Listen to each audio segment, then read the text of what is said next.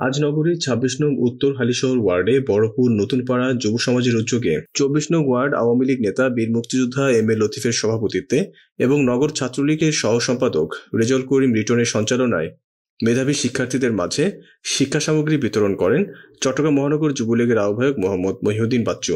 এ সময় প্রধান অতিথি হিসেবে উপস্থিত ছিলেন চট্টগ্রাম মহানগর যুবলীগের আহ্বায়ক মোহাম্মদ মহিউদ্দিন বাচ্চু। আরও উপস্থিত ছিলেন নগর যুবলীগের সদস্য শাখাওয়াত হোসেন স্বপন সালে আহমেদ দিগল যুবলীগ নেতা আবুল বসর চৌধুরী, মোহাম্মদ আশরাফুল ইসলাম অ্যাডভোকেট সৈয়দ রবি, মোহাম্মদ রুবেল আজাদ হোসেন, আজিজউদ্দিন মোহাম্মদ খোরশেদ আলম, মোহাম্মদ সাইদুল ইসলাম, মোহাম্মদ আরিফ, মোহাম্মদ আনোয়ার, মোহাম্মদ আবির প্রমুখ।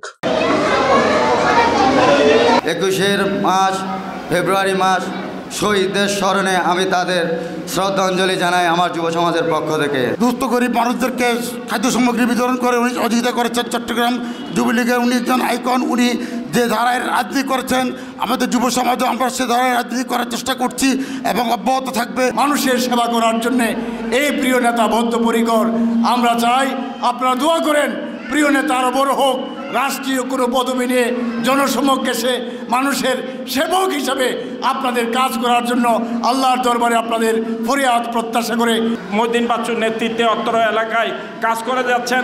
আগামীতে আরও বেশি বেশি বেশি কাজ করে অত্তর এলাকার অবহেলিত এই এলাকাটাকে আমরা নেতৃত্ব শূন্যতার জায়গায় একটা নেতৃত্ব স্থানে যদি নিয়ে আসতে পারি মদিন বাচ্চুকে সেটাই হবে আমাদের সবচেয়ে বড় অহংকারের বিষয়।